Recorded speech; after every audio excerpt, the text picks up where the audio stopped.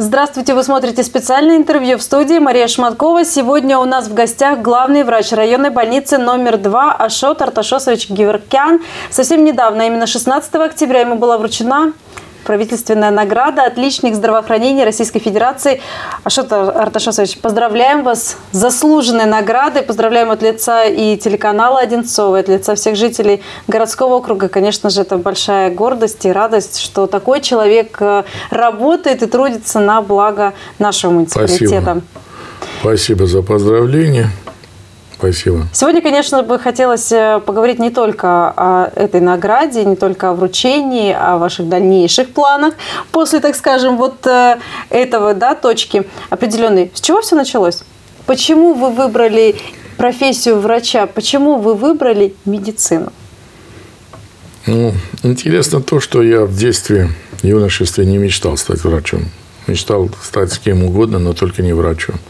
Я мечтал стать дипломатом, послом, разведчиком, космонавтом. Ну, про медицину получилось очень интересно. У меня мама была очень э, знаменитым педагогом, очень хорошим.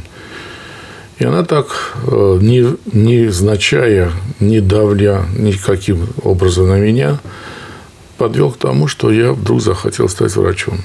Это было 9-10 класс когда я уже определился и начал думать об этом, и с огромным, э, как говорится, желанием рвался туда. Путь был очень непростым, э, поступление, учеба и так далее, и так далее. Дальнейшая работа. Но я э, всегда говорю, спустя много лет,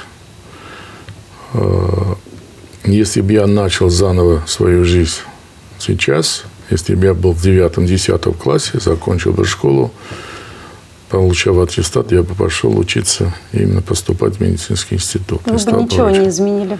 По части профессии ничего бы не изменил. Выбора профессии. Ну, по части жизни нельзя так говорить. Есть, я очень э, критично смотрю на свою жизнь. И, естественно, с возрастом уже мудрее становишься опытным. Что-то чего-то не так сделал. Хотя, кто знает, если повторить 20 лет, 25 лет, никто еще не может сказать, чтобы не так сделал. Это сейчас мы говорим. Но по части профессии я бы ничего не изменил. Сколько лет вы отдали этой профессии, этому делу? И продолжаете работать в здравоохранении? Очень, э, как бы, не знаю, как будет звучить, 40 лет. Отлично. Я как закончил медицинский институт. Ну, вся жизнь.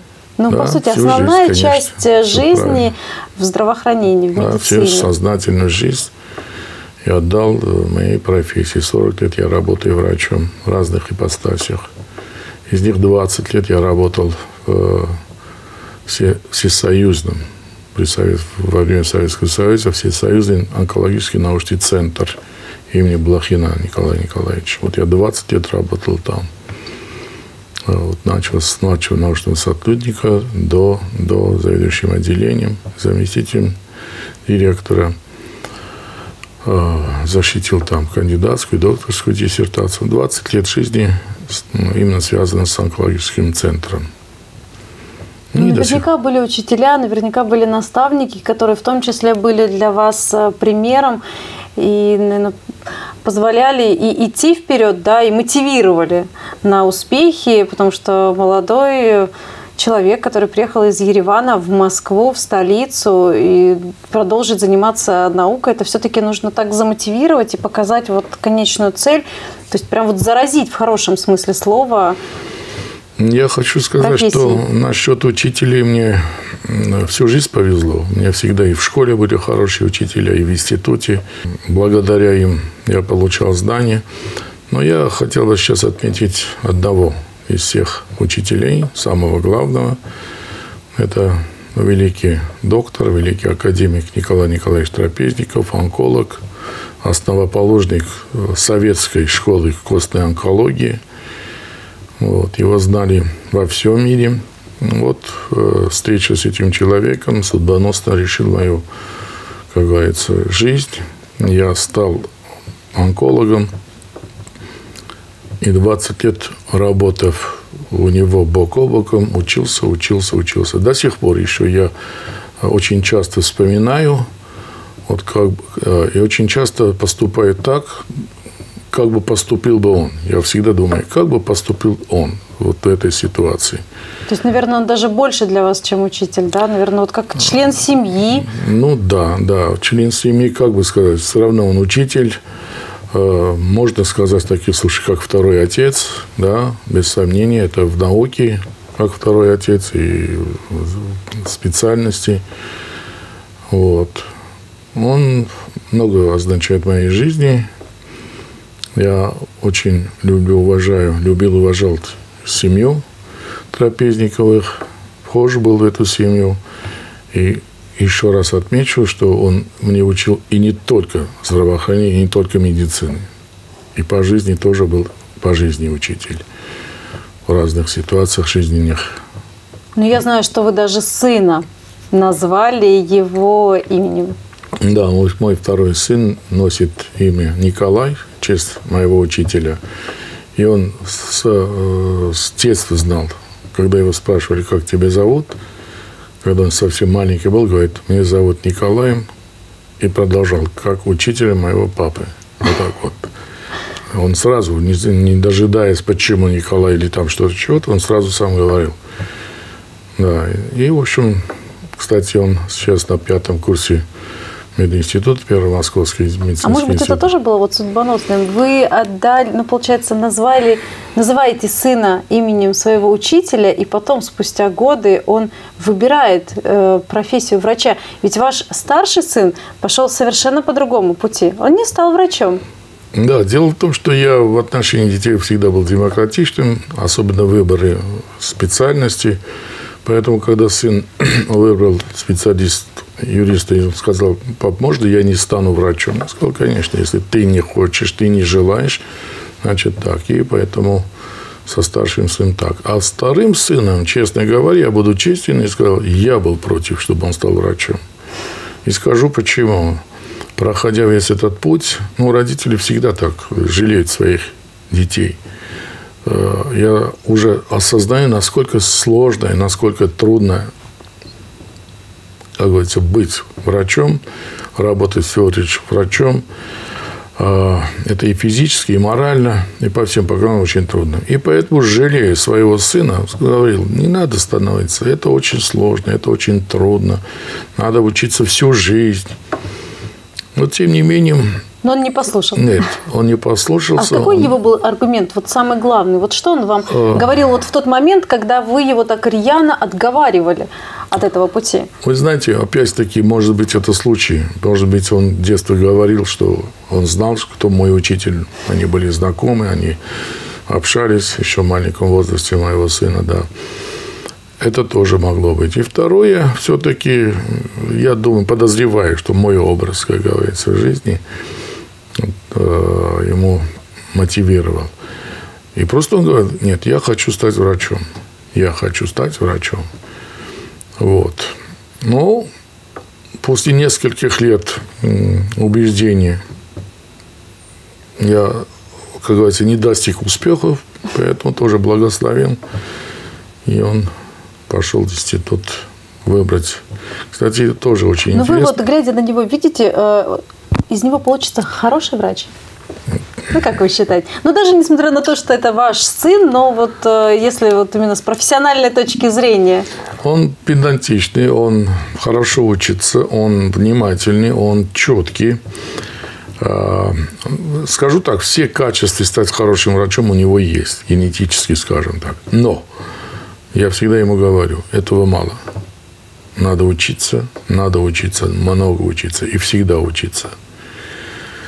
Э, пока он учится, пока он делает то, что ему надо, пока он идет неплохо, хорошо. Кстати, он сейчас уже стал подрабатывать. Когда он сказал, я хочу подрабатывать, я ему сказал, ну, кем ты можешь подрабатывать? Я бы и посоветовал, чтобы работать, начинать работать с санитаром. Он, занимает, он работает санитаром. А, сначала он работал в оперблоке санитаром, не понимал, что он должен делать, но после через два месяца, три месяца я работаю, я спрашиваю, как дела? Нормально. Он уже знает, как э, обеспечить стерильность операционного блока, как помыть инструменты, как подавать инструменты. И самое главное, он уже, он уже не став еще врачом, он уже знает почти все инструменты. Хирургический комплекс. Станет хирургом уже э, хорошо, не станет, все равно врачу всегда нужен будет. А теперь он э, через три месяца пере, э, перевелся в приемное отделение. И тогда тоже он сказал, а что в приемном отделении? Легко. Но после первого дежурства, суточного дежурства, когда он пришел домой, я спросил, как дела? Ну, говорит, все нормально, все хорошо, мы всю ночь не спали, принимали больных. И самое главное, что он понял, что в приемном отделении он принимает разных больных разные специальности нужны. Здесь надо действительно нога... Таким быть универсалом. Да, универсалом. И вот тоже ему стало интересно. Я думаю, что это правильный путь. Пусть он начинает с самого низов. И тогда, когда он станет врачом уже дипломирован, он более лучше поймет того же санитара, медсестру, их работу. И это ему всегда поможет в профессии, в работе врача. А, вы сказали, что 20 лет вы отдали онкологии, а вторая половина? Вторая половина тоже очень интересная. Я около 7 лет работал в счетной палате Российской Федерации. И именно э, курировал здравоохранение российскую. Вот. Потом, это 20 лет только в онкологическом центре я имел в виду. Потом я э, опять вернулся в здравоохранение – был директором Института красоты на Арбате, занимался э, эстетической, скажем так, это мне было всегда интересно, потому что на заре своего ординатуры тоже занимался пластик, пластическими операциями онкологических больных. Я потом вернулся. В настоящее время вот э, я давно живу в Московской области и решил, что пора уже дать долг Московской области тоже. Уже в последнее время я работаю в Московской области, в частности, вот вы знаете, в Одинцовском районе. Во второй больнице, вот все-таки э, за такой путь да, развития вот сейчас онкологии и заболеваний, точнее, ну, скорее всего, не заболеваний стало больше, а просто выявляемость, э, качество выявляемости повысилось, да, и, соответственно, случаев больше. Все-таки, на ваш взгляд, э, медицина ну, сделала какой-то шаг вперед вот именно в лечении, в диагностике? Я считаю, что не только шаг, большой шаг, большой шаг. Я сравниваю 80-е годы онкологии сейчас. Это очень большая разница именно вот в отношении прогресса в этом поприще. Знаете, что больных, может быть, чуть-чуть стало больше, но вы правильно отметили, что, скорее всего, выявляемость очень больше стала, это раз, и открытость. Раньше э, пациенты, у которых были онкологические заболевания, молчали никому, об этом? молчали, никому не говорили. Близких родных рядом сидели, рядом работали, жили, но никто не знал. И, к сожалению, тогда узнавали только тогда, когда э, трагически конец наступало, и поэтому такое отношение были населения вот к онкологическим заболеваниям. Они узнавали только о смертельных случаях. О тех случаях, когда больные вылечивались, никто не знал. Закрыто в этом теме. Но сейчас, естественно, сейчас как бы никто не боится, никто не стесняется говорить о своей болезни, потому что, еще раз э, повторяю, потому что у большинства есть шанс выживать и выйти из этой ситуации. Кстати, самое главное здесь э, не онкологический принцип, а принцип именно вот первичного звена, профилактические осмотры. Потому что если э, все онкологические заболевания первой второй стадии 95-98% излечиваются. А вот эти четвертые стадии уже наоборот – между э, временной э, фактор между первой, второй стадией, третьей, четвертой, это от полгода до года приблизительно. Да, у каждой заболевание по-разному. Поэтому это, если ежегодные э, профилактические осмотры диспансеризацию правильно проведут и выявляемость онкологических заболеваний при первых стадиях, это уже шанс на спасение. Почти ближе к 100%.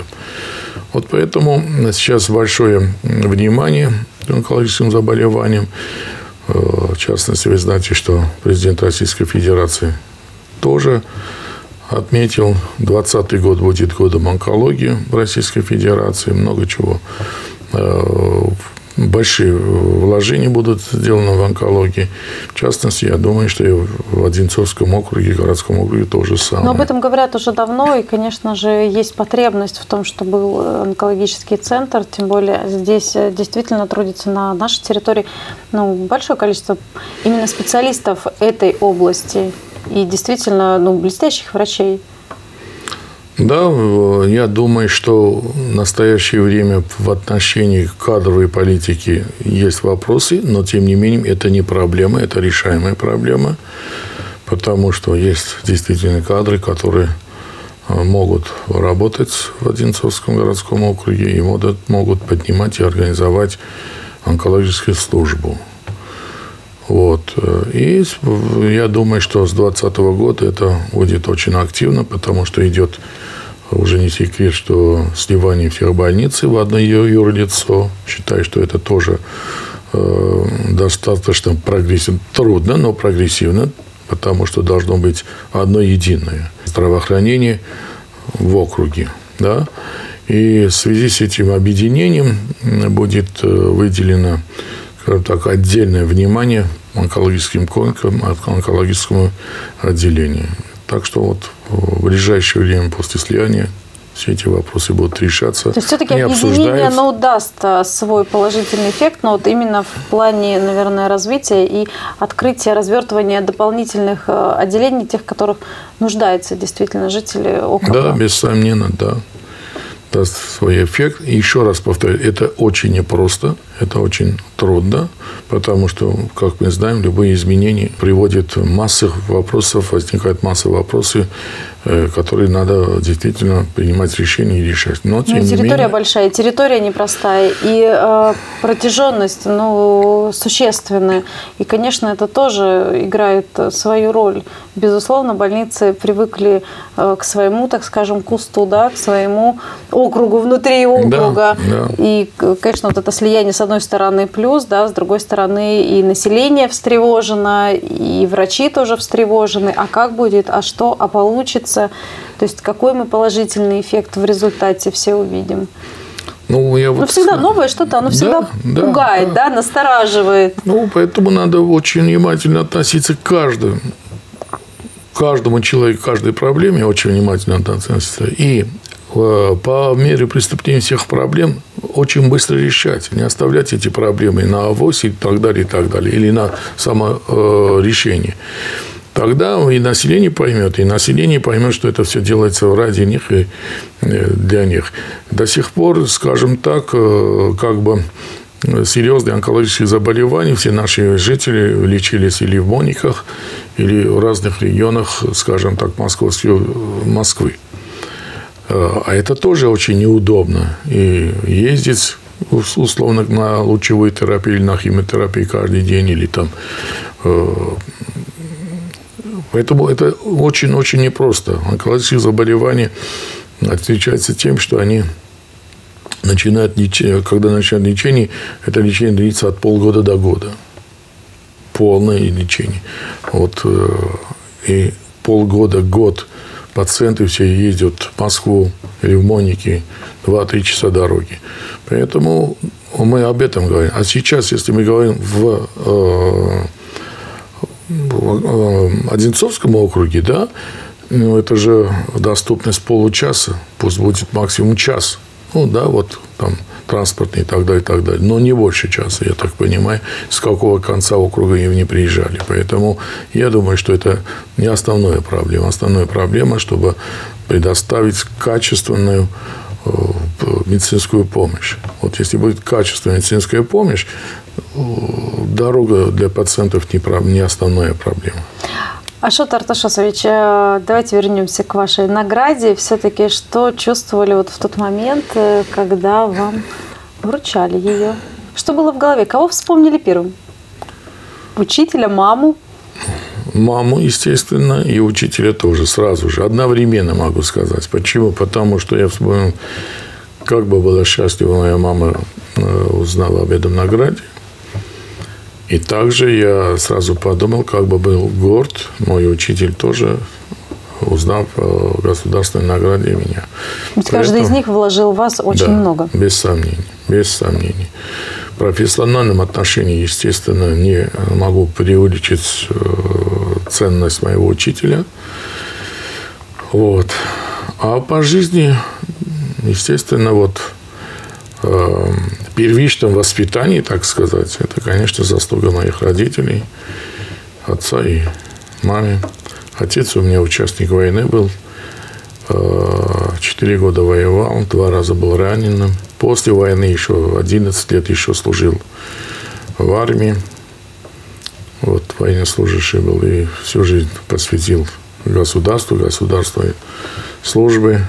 А мама, я уже сказал, педагог и воспитание наше воспитание все на плечах мамы было. Поэтому все, что, скажем так, реализовалось в своей жизни, основа положила моя мама, без сомнений.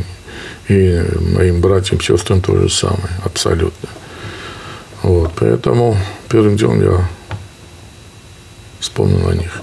Ашот Арташосович, мы еще раз вас поздравляем с наградой. Спасибо за интересную беседу, за интервью. Будем следить. Да, я бы хотел э, еще по завершению сказать, э, безусловно, что эта награда, скажем так, больше обязывает да, меня также продолжать работать. Э, но вместе с этим я хочу сказать, эта награда не только принадлежит мне, это принадлежит большому коллективу Одинцовской районной больницы номер два Перхушковской, так без сомнений э, оценено труд большого коллектива врачей, медсестер, тех же самых санитарок. Вот. Без сомнения здесь э, слова благодарности хочу сказать Министерству здравоохранения Московской области, что представили они, а также э, администрация Одинцовского городского округа, потому что мы всегда э, чувствовали поддержку, понимание, помощь администрации Одинцовского городского округа. Не буду скрывать и помощь главы Андрея Робертовича Иванова, э, всего депутатского корпуса, без сомнений. Вот. Э, постоянной заботе о наших сотрудников особенно в социальном сфере помощь. Поэтому спасибо всем. Вот. Будем продолжать работать дальше. Спасибо вам и еще раз поздравляем с вручением правительственной награды. Спасибо. Вы смотрели специальное интервью. Оставайтесь на нашем канале. До свидания.